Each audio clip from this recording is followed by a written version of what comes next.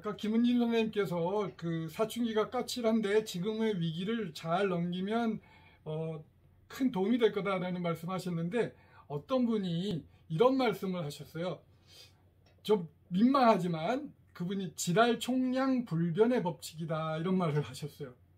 지랄 총량 불변의 법칙 그 뭐냐면 평생 사람마다 떨어야 될 지랄의 총량이 있다는 거예요. 그러니까 지금이 막 정말 강의 제목에 까칠한이란 말이 들어가 있잖아요. 그 까칠하단 말을 들으시고 아, 뭐 공감들 좀 하셨을 것 같은데 그 제가 강의가 사실은 이 제목을 잘 붙여서 떴어요. 근데 이때에 잘 그 오히려 사춘기 때 애들이 폭발적으로 하면 나중에 가서 덜 한다는 거예요. 심지어는 나이가 환갑이 다 됐어도 이게 그 평생 그 그걸 안 해놓으면 우리가 80대고 90대 됐을 때 아들 손자 아들하고 딸이 우리를 괴롭힐 수도 있다는 뜻이에요. 그러니까 어, 어, 그리고 저는 이제 애가 둘인데 지금 큰 애는 어, 직장 생활 합니다. 아, 그 컴퓨터 전공하고 이제 컴퓨터 하고 작은 애는 그 이, 대학은 경영학과를 나왔는데 지금 대학원을 교육대학원을 갔어요. 상담을 공부한다고. 그래서 참 가시밭길을 가고 있는데 그 두 아이들을 이렇게 사춘기 때 겪으면서 와 이건 뭐 이거 완전히 가시야 가시 까칠한 정도가 아니라 그래서 어 그리고 이제 35년 동안 제가 애가 교직에 있으면서 애들은 진짜 너무너무 까칠하다 그래서 제가 참 제목을 까칠한 자녀와의 소통이다 이렇게 에, 잡았습니다. 근데 뭐 뭘 1, 2, 3교시 그래가지고 겁먹으셨을 텐데 이게 이 줌 강의는 어머니들 아시죠? 아줌마 세상이 열리는 거? 아름다운 줌 마을 아름다운 줌 마을 이게 아줌마 이 줌이 이제 일시적으로 끝나는 게 아니라 어쩌면 인간의 학습의 혁명을 가져올 것 같아요. 그래서 예, 우리들에게 예, 그, 근데 25분 정도가 적절하다. 25분하고 짤막하게 쉬고 25분하고 짤막하게 쉬어야 피로감이 누적되지 않습니다. 어, 제가 화면을 공유해서 보면서 말씀을 드릴게요. 이제 네. 네. 이렇게 네, 이제 어, 작가라고 이제 소개를 드렸는데 원래는 이제 35년간 영어 교사를 했어요. 근데 중학교에서 한 절반 있었고 고등학교에서도 절반 정도 있었습니다. 그래서 강의는 가, 가능하면 짧게 하고 부모님들이 지금 이 바쁜 시간에 들어오셨을 때는 뭔가 고민이 있으셨을 거다. 그래서 이 말씀을 들으시면서 그냥 그런가 보다 하지 마시고 이 이야기와 내 아이가 어떻게 연관 지어질 것인가. 그래서 그 이야기를 가지고 그 끝, 끝 무렵에 가서 꼭 질문을 해주시면 좋겠어요. 그러지 않으면 그냥 후를 아 참 좋은 얘기 들었다. 원래 그렇잖아요. 그러니까 뭐 허무하게 끝나버릴 수가 있으니까 그렇게 해주시면 좋겠습니다. 예, 저는 이렇게 작가로서 이렇게 책을 쭉 써왔고, 어, 요건 이제 학부모 상담 책은 이제 최근에 예, 바로 7월 7월 1일 날 책이 나왔습니다. 학부모 선직 교사들을 위해서 제가 학부모님들과 대화할 때그 제목이 어떤가 여기 학부모와 한편이 되자예요. 제 음, 학부모 지금 선생님들에게 이렇게 말을 하는 거예요. 학부모님들 두려워하시면 안 된다. 결국 아이를 케어하기 위해서 이, 우리 우리나라에서 이 전 지구상에서 가장 관심을 가진 분은 누구냐? 바로 어머니들이다. 아버님들이고. 그러니까 소 닭보듯 하면 안 된다, 서로. 그래서 한 편이 되자라고 이렇게 책을 써냈습니다. 그래서 지금 어, 나온 지뭐 어, 며칠 되지 않았는데 어, 교육부문 베스트셀러 32, 20위 이렇게 안에 들어가네요. 역시 역시 학부모와 교사의 짬짬이, 학부모와 교사의 소통 이건 굉장히 우리들에게 이 시대의 화두인 것 같습니다. 오늘 강의가 어, 담임 선생님과 또 교과 담임 선생님과 에, 소통하는 디딤돌 역할을 하기를 저는 간절히 예, 바랍니다. 네, 우선 첫 번째는 어, 우리 애가 어, 우리 애가 자기 능 역량만큼 공부를 안 하네 라는 느낌이 들때 예, 그것을 신경정신과 전문의 이거는 제가 신경정신과 전문의의 강의를 두시 각각 우울증 2시간, 게임 중독 2시간, 또 어, ADHD 2시간, 총 6시간 이 청소년기의 정서적 어려움에 대해서 이 6시간의 강의를 들은 것이고 그거를 짧게 20분 안에 요약해서 전달을 해드릴게요. 자, 혹시 우리 아이가 생각보다 더 어, 역량만큼 100% 발휘하지 않는다면 거기에 이런 장애물이 있지 않을까 이런 말씀입니다. 저, 그 들어가기 전에 에, 제가 퀴즈 하나 낼까요? 어머니들 그 흔한 요즘은 흔한 농담이 돼버렸는데 어, 북한이 왜 남침을 안 한다? 네? 북한이 남침을 안 하는 이유는 네, 채팅창에다가 답을 한번 써보실래요? 여기 네, 중이 중이병 네, 중 오케이 오케이 중이 때문에 그렇습니다. 네. 그런데 그럼 한 발만 더 나아가겠습니다. 그러면 왜 남한은 북한을 침범하지 못할까요? 그런 생각 못 해보셨죠? 근데 뭐 흔하게 답하면 어, 북한에도 중위가 있기 때문이다라고. 아, 근데 중위가 왜 무섭냐면 제가 그 서울시 교육청에서 미국에 학교 4주간 한 달간 그 연수시켜줘서 갔는데 제가 중학교 2학년 담임입니다 그랬더니 미국 교사도 웃고 깔깔깔 웃는 거예요. 그러니까 어랍쇼 그러면 미국 미국 아이들도 중위는 까칠하다는 뜻 아니에요. 그죠? 그럼 전 세계 평화가 유지돼야 되는데 그건 아니 그게 아니냐? 그건 바로 뭐냐면 이 뇌의 뇌 발달에 관련돼 있다. 근데 그 이거는 그러면 얘네들이 중간 뇌만 발달해 있다가 포유류의 뇌가 발달해 있다가 중2 때 이 영장류의 전두엽이 급격하게 정말 어마어마하게 성장을 팽팽팽팽 하는 거예요 이게. 그래서 전문가들은 이걸 중2는 리모델링 시기다. 아이들이 지금 집을 새로 재건축하다시피 하는 거라서 뇌가 너무너무 복잡하다. 그래서 어머니들 보시기에 답답하시죠? 그런데 본인들, 본인들은 정말 환장한다는 거예요. 그래서 우리들이 보기에 좀 답, 흔히 어머니들께서 우리가 하는 말이 뭐냐면 얘는 말은 뭐 그럴듯하게 하는데 행동하는 건 뭐 이좀 뭐 맨날 똑같아 이렇게 그렇게 우리가 비난하면 안 된다.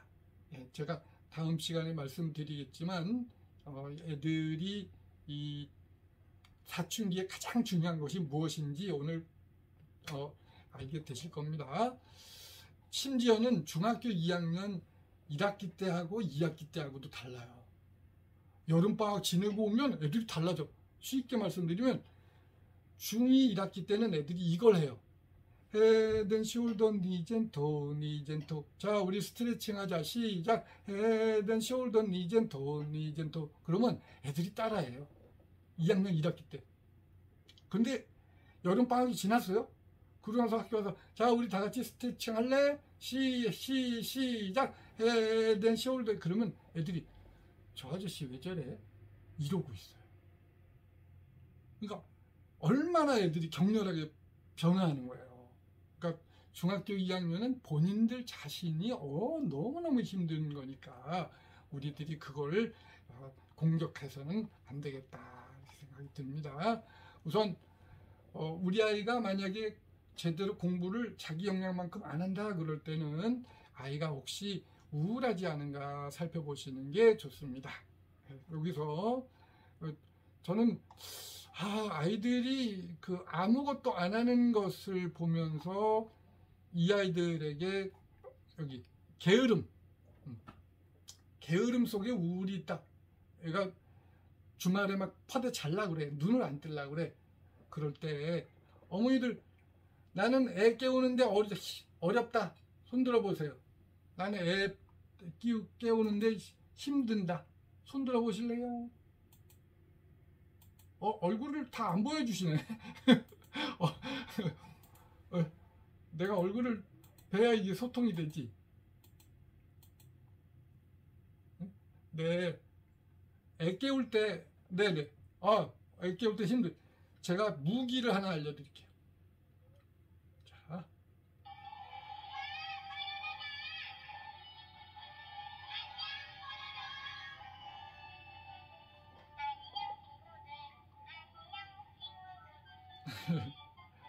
예. 애들 깨울 때 제가 학교에 있을 때 제가 애들 깨울 때 쓰던 뽀로로 마이크예요. 뽀로로 마이크 인터넷으로 만 원 안 줘도 살 수 있거든요. 요거로 애들을 깨워주세요. 아침에 일어나서 야 일어나 이러지 마시고 귀에다 싹 갖다 대시면 제가 고3 애들까지 실험을 해봤는데요. 이 녀석들이 눈 뜨기 전에 웃어. 어. 이 이름하여 뽀, 뽀, 예, 뽀, 뽀가 무슨 뽀로로 별명. 뽀로로 별명 보통령이래 보통령. 그렇게 깨워주시면 좋겠습니다. 그런데 어머니들은 우리 애가 무슨 우울해. 뭐 저렇게 그냥 뭐 TV 보면서 까르르 까르 뒤집어지는데 근데 그거는 청소년기의 우울은 어른의 우울하고 좀 달라요 이렇게 가면을 쓰고 있어요 그래서 감, 우울의 냄새를 맡는 방법입니다. 애가 갑자기 늦잠을 잔다. 늦잠 잔다. 두 번째, 애가 이런 말을 달고 살아. 아이 짱나. 아이 귀찮아. 몰라. 이럴 때. 다 같이 함께 짱귀몰 시작. 짱귀몰. 짱귀몰. 이 말을 자꾸 달고 살 때 이거는 얘가 혹시 우울한가? 이런 것을 냄새를 맡아주시는 것이 필요합니다. 어머니께서 그리고 또 친, 아이의 우울을 금방 파악할 수 있는 건 뭐냐면 이상한 애들하고 어울려요. 이상한 애들. 그런데 소아청소년 전문의의 말에 따르면 애들은 서로의 냄새를 그렇게 기가 막히게 맡는답니다.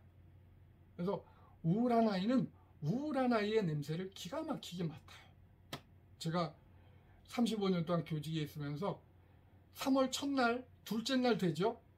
둘째 날이면 애들이 그렇게 딱 뭉쳐요. 네, 희한하게 뭉칩니다. 나중에서 저는 집안 사정 알게 되고 이러면서 아 얘가 우울할 수밖에 없겠구나라는 사정을 알게 되는데 그 이전에 애들은 본능적으로 탁 붙어버립니다. 그래서 어머니들께서 야 너 왜 이상한 애들하고 사겨? 그러시면 될까 안 될까요? 그러시면 안 돼요. 오히려 전문의는 뭐라고 이렇게 말해 예, 같이 우울증 아동 같이 읽어보시겠습니다. 소리 내서 자꾸 소리 내고 뇌가 활성화됩니다. 시작. 우울증 아동 학부모는 자녀 친구들의 친구가 되어야 합니다. 만약에 우리 아이가 이상한 애랑 사귀면 너 걔랑 사귀지 마 그러면 돼 안 돼요? 그러면 안 돼요. 오히려 엄마를 배척할 가능성이 높습니다. 가출도 할 수 있고 그러니까 그냥 그 아이들을 함께 이렇게 아울러서 그 애들이 좋아하는 거 같이 사주는 거야. 그냥 먹자. 그 아이들 것 그러면 고깃값 좀 들겠죠. 그래도 이 그거 지금 투자하는 것이 나중에 다 자산이 됩니다. 그때 애들은 그렇습니다. 나쁜 길에 유혹에 빠지다가 엄마 얼굴이 생각나. 아, 안 돼. 내가 이럴 수는 없지. 그게 바로 엄마들의 힘입니다. 근데 요때 주의하실 거. 맛있는 거 사주고 본전 뽑으려고 그러시면 될까 안 될까? 그러니까 맛있는 거 사주시면서 그냥 바로 막 뭐뭐 뭐 바램을 얘기하면 될까 안 될까? 그러면 안 돼. 그러면 도루묵이야. 그냥 밥 먹자. 이렇게 하셔야 됩니다. 그래서 자꾸 엄마한테 미안함을 느끼게 해야 돼. 그래서 샛길로 가다가 아 우리 엄마 때문에 안 돼, 미안해. 응? 가, 뭐, 외박하고 싶고, 이럴 때도 엄마 얼굴 때문에 참아 못하는 거죠. 그 다음에 아시는 것처럼 우리 애들이 게임 중독이 많이 심한, 심합니다. 근데 게임 중독은 중독이고요. 이건 치료받을 수 있는 질병입니다. 아, 우리 아들도 어, 제가 커밍아웃 할게요. 과고를 가, 과학고등학교를 간다고 준비하다가 과고 입시에 실패를 했어요. 그러고 나서 고등학교 3년을 완전히 게임에 그냥 빠져버렸어요. 근데 그 심리가 뭐냐? 그 고등학교 1학년밖에 안 된 애가 입시에 실패를 해버리니 그러니까 루저다, 패자다. 근데 인간이요. 나는 패자다라는 인식을 갖고 살 수 있나요? 어때요? 그렇죠? 어머니들 나는 패자다라고 인식하세요? 그런 인식을 가지면 아마 이 시간에 못 들어오셨을 거예요. 아쉬움이 바로 그런 거죠. 정작 들어야 되실 분들, 어머니들은 이 시간에 못 들어오셔. 네. 자, 여기 루저. 그러니까, 그거를 견디질 못하니까 애들이 게임에 몰입을 해버리는 거예요. 왜? 공부는 성적이, 그렇게 성적이 이렇게 올라가질 않아요. 그런데 게임은, 공부는 이렇게, 이렇게 하다가 이렇게 올라가고, 이렇게 올라가고, 이런 경향이 있잖아요. 근데 주, 게임은 그냥 한만 정말 삽질 한 만큼 올라간다 애들 표현에 의하면 그러니까 그 결과가 나오니까 막 거기 몰입을 하게 되는 거죠. 네. 그러니까 이게 지금 일본이나 우리나라처럼 가치관이 그 가치관이 이렇게 그 성공과 실패와 기준이 이렇게 그냥 탁 하나로 되어 있는 사회. 그러니까 그 다음 제가 다음 시간에 말씀드리겠습니다만 공부도 공부도 여러 가지라는 거 그게 인정을 인정이 돼야만 애들도 이 루저라는 말 거기서 벗어날 수 있죠. 자, 또 휴대폰도 마찬가지. 여, 그 스마트폰에 이렇게 푹 빠져 있는 경우도 혹시 아이가 자존감에 상처받지 않았을까 하는 걸 인지를 해 주셔야 됩니다. 다음 세 번째, 어, 세 번째는 이제 ADHD. 지금 말씀드린 세 가지가 뭐였던가요? 복습. 자, 채팅창에다가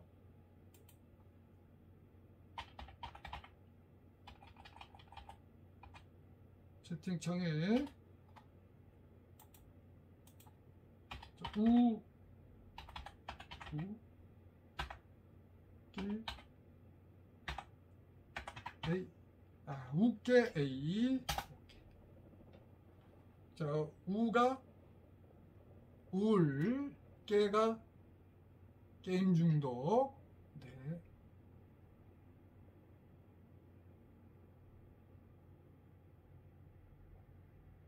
답 안 쓰시면 안 해.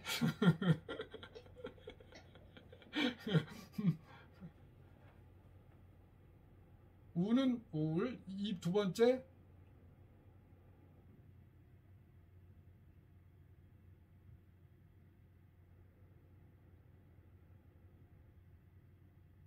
방금 얘기한 게 게임 중독이었고 세 번째가 네, 세 번째가 네, 감사합니다. 네, AD HD예요. 아이고, ADHD인데 HD를 잘못 썼어요. 선생님, 그러니까 어머니들 요즘 ADHD가 전문가에 따르면 6 내지 9%랍니다. 6 내지 9% 그러면 한 반에 30명을 잡으면 두세 명 되는 거죠. 그러니까 한 반에 두세 명의 ADHD가 있다. 근데 ADHD의 성공 비결이 있어요. 저는 ADHD를 운 좋게도 98년도에 접했습니다. 20년이 넘게. 그리고 접하고서 공부를 저는 이렇게 어, 새로운 아이들의 낯선 행동을 보면 공부를 하거든요. 여기 좀 도리도리 하는 거 보세요, 얘. 이런 애가 저희 반에 있었어요. 얘가 중학교 1학년 담임을 하는데, 하나애가 아침부터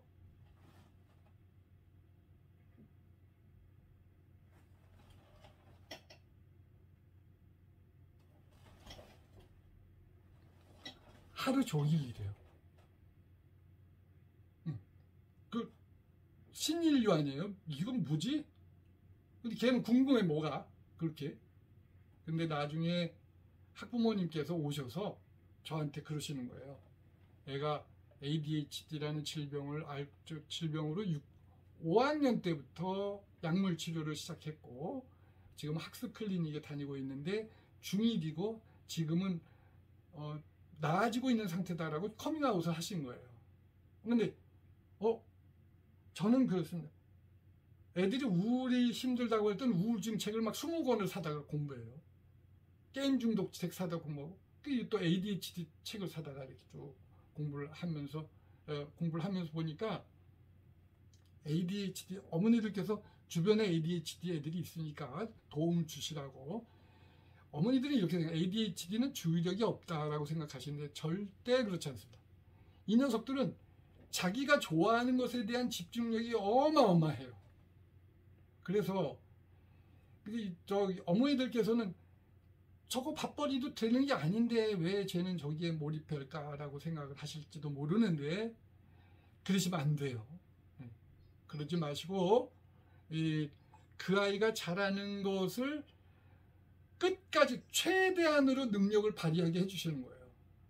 근데 이거는 다음 시간에 예, 어, 어, 내용과 연결이 되는데 그게 자존감을 향상시킨다. 근데 근데 이 또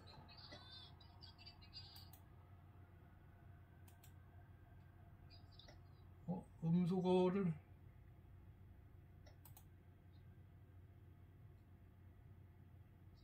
네, 네, 어, 됐습니다. 네, 그래서 이 어, 조무실인 것 같은데? 선생님 소음 들려요? 그, 그때 애가 여기서 자존감이 그것이 무엇이든 하다못해 레고가 됐든 뭐, 뭐, 뭐, 뭐 요즘 애들 돌리는 스피너가 됐든 뭐가 됐든 이거를 최고 수준으로 할 수 있도록 뒷받침해 주셔라 이게. 어머니께서 부모님께서.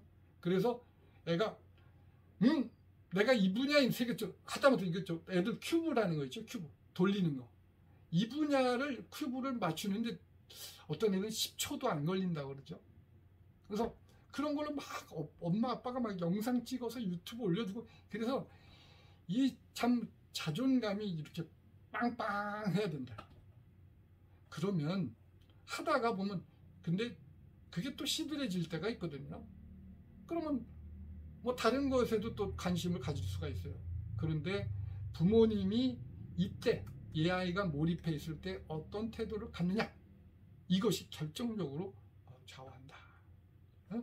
자, 어, 부모님들께서도 어, 이렇게 에디, 세계적인 천재 중에 에디슨도 ADHD였다는 거죠. 음, 반응 그리고 그 마이크 그 수영 천재 펠프스 수영 천재 펠프스 그 얼굴 형태 보세요. 전형적인 ADHD 얼굴 있죠. 근데 잘하는 것에 집중해서 선생님을 잘 만난 거예요. 코치를 잘 만난 거예요. 그러면 지금 우울증, ADHD, 게임 중독 이런 것들도 누구 하기 나름이다. 물론 선생, 선생님이 중요한 역할도 하겠지만 오늘 어머니들께서 정말 잘 오신 거예요. 네. 그런 어머니께서 이해하시면 이런 어려움들 이겨내실 수 있습니다. 음, 또 한 가지는 네, 여기 그래서 제 경험에서 저는 뭐예요? 그 어머니께서 학부모 총회 때 나오셔서 당신 아들의 상태를 정확하게 말씀해 주셨잖아요. 물론 어, 모든 담임 선생님이 그것, 그것을 통해서 연구하고 하지는 않겠지만 모르는 것보단 낫습니다. 요즘 선생님들이 ADHD라는 것을 대충 알아요. 근데 중요한 거 보세요. 담임이 이 아이가 ADHD 치료를 받고 있다. 이걸 알고 있잖아요. 그러면 적어도 교과 담임 선생님들한테 그 얘기를 말씀드린다는 거예요. 애가 게임 중독이다. 그런 것도 마찬가지고. 우울증으로 애가 상담받고 있다. 그런 거는 담임이 교과 담임한테 연락을 하면 교과 담임 선생님들은 그, 그 배경을 알게 됨으로써 아이의 행동에 대해서 똘레랑스, 어, 뭐 관용이 생긴다, 이런 거죠. 어? 그러니까 요거 같이 읽어보실까요? ADHD 활동 시작. ADHD 아동의 학부모는 담임과 친구가 되어야 해요. 어, 두 번째, 이, 어, 애가 학교에 갔다 오죠. 그리고 다시 왔을 때, 혹은 어머니께서 직장 다니다가 다시 집에 갔을 때, 15분 동안, 요 15분이 무지무지 중요합니다. 요건 아, 앞으로 이렇게 시간 체크하세요. 아이와 다시 만난 15분 동안 아이에게 등을 보이지 마세요. 직장 다니다 보면 미안한 감정이 있을 수 있죠. 오늘 이 영상을 찍고 이걸 집에서 보시는 어머니들이 계신데 계시겠죠. 이럴 때 그 어, 벌써 벌써 15분이 됐네요. 아, 20 25분이 네, 금방 마치도록 하겠습니다. 그리고 7분 그럴 때 미안한 감정을 갖지 마세요.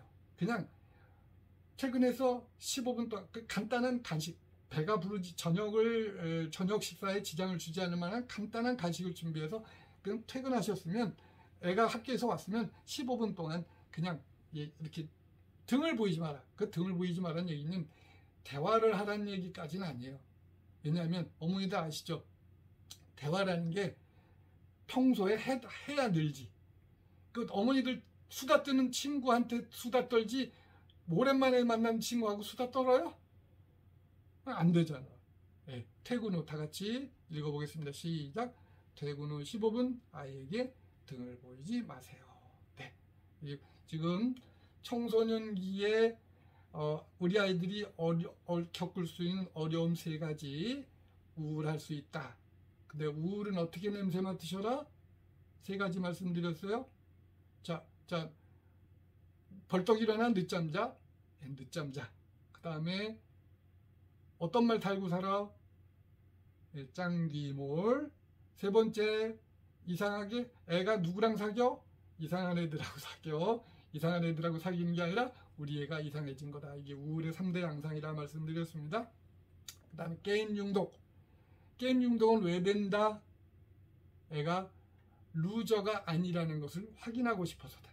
그러니까 게임 중독에서 벗어나려면 어떻게 해야 돼? 이 아이의 자존감을 살펴, 상처받은 자존감을 살펴주셔야 한다. 세 번째, ADHD. ADHD는 주의력 결핍이 아니라 뭐다? 주의력을 옮기는 데 문제가 있다. 근데 뭘 키워주면, 자존감을 키워주면 애는 그 어려움을 스스로 극복해 낼 수 있다. 특히 세 가지 사춘기에 아이들이 어려움을 겪을 수 있는 걸 이거는 서울시 소아청소년 정신과 의사들이 통계를 내서 저희 교사 연수에 말씀을 주신 겁니다. 네. 어, 제가 말씀드렸고, 어머니 그 다음 시간 시작 전에 여기 채팅창에다가 그러면 어떻게 할까요? 라는 질문을 여기다 주시면 제가 어, 답을 올리도록 하겠습니다. 그러니까 그냥 이것도 내 아이와 어떤 연관이 있는데 그것을 그냥 그냥 넘어가 버리면 별 그, 그 의미가 없죠. 네. 자, 그러면 지금 39분인데요. 7분간 해서 39, 7분, 46분에 뵙도록 하겠습니다. 비디오 종료하시고, 예, 음소거음 됐으니까 비디오 종료하시고 7분 동안 푹 쉬고 오세요. 다른 화면 보지 마시고 딴 데 보세요. 네, 쉬도록 하시겠습니다.